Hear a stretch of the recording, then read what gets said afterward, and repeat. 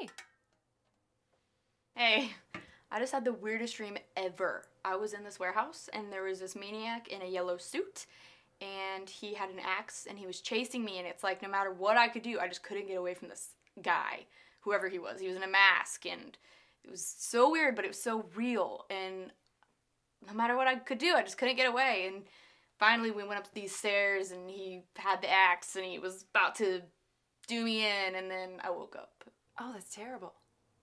You need this more than I do.